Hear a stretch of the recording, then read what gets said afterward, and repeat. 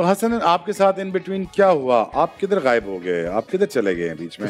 आप तो इतने अच्छे फास्ट बॉलर आपको तो सब कुछ आता है यार। शुएब भाई अनफॉर्चुनेटली मेरी उस तरह परफॉर्मेंस नहीं थी कि मैं जो है वो टीम के साथ या उस प्लेइंग एलेवन में रह सकता। जो मुझे फील कराया गया या जो मुझे हो गया दो सीरीज़ में मुझसे आउट नहीं हुए तो उसके बाद मुझे जो है वो ड्रॉप कर दिया गया। फेयर इनफ आपको पाँच आउट करने ही पड़ेंगे अगर आपने टीम में रहना है।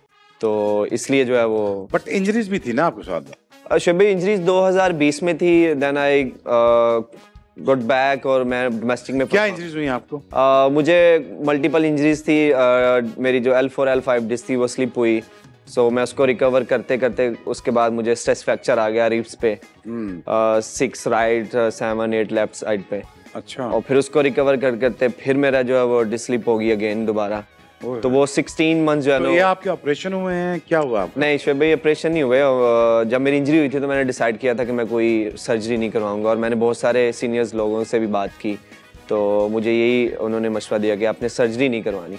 तो मैंने वही जो आता है रीहैब वगैरह और और अभी क्या पोजीशन है आपकी? अभी मैं बिल्कुल फिट हूँ। इंजरी का मसला था एलपीएल में लेकिन वो भी आपके सामने है। हाँ। तो तो कैसा फील कर रहे हैं? आपकी पेस में कमी तो नहीं आई कोई कोई आ, आपको कोई नुकसान तो नहीं लगा कि, यार मुझे शायद थोड़ा सा मेरी पेस या शोल्डर पेस में रन अप पेस में या मेरी शायद मेरी वो फिजिक शायद वो ऐसे पहले जैसे नहीं रही। शुभ जब आप ज़्यादा लंबे से क्रिकेट खेलते हैं तो मुझे लगता है कहीं ना कहीं पे आपका मसल जो है वो लूज़ हो जाता है और आपकी बॉडी फटीक जो आ जाती है और आपको फील नहीं होता। आपको ऐसे लगता है जैसे आप उसी तरह भाग रहे हैं या उसी तरह बॉलिंग कर रहे हैं लेकिन कहीं ना कहीं पे आपको ऐसे फील होता है कि आपकी फटीक जब ऐसे आप रेस्ट करते हैं वन मंथ का फोर वीक सिक्स वीक अपने आप को रीगेन करते हैं तो अभी मैं तो आपकी सामने बहुत अच्छी हालत में बैठा हूँ। मेरा मसल थोड़ा वापस आया है क्योंकि श्रीलंका में थे टू मंथ्स के लिए। वहाँ पे बहुत स्वेट होता है बहुत ह्यूमिडिटी होती है वहाँ पे।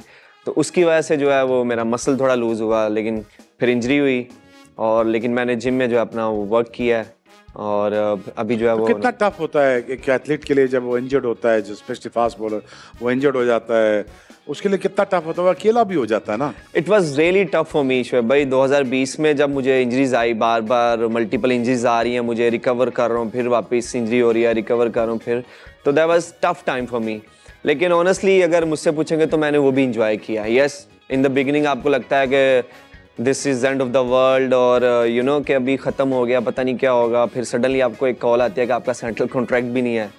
तो you feel bad you know कि आप जो है एकदम से सडनली आप पे जो वो टाइम आता है। बट मैंने इंजॉय किया और uh, मैंने अपने आप को इस तरह डेवलप कर लिया है मेरी जो पर्सनैलिटी है कि मैं इंजॉय करता हूँ हर मोमेंट को। आसन अली है कि फुल ऑफ़ लाइफ है फुल ऑफ़ स्पिरिट है और ये घबराते चाहते नहीं है।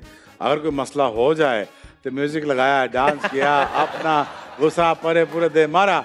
और अगर हम एक ब्रेक लेना चाहें तो ब्रेक से पहले यार अगर म्यूज़िक के लग जाए तो क्या नुकसान है यार? क्या है यार? अगर ऐसा नहीं लिया, हमें डांस करते हुए हमें ब्रेक पे ले जाए तो क्या होगा इसमें? कुछ भी नहीं हो सकता। म्यूज़िक ऑन किया जाए।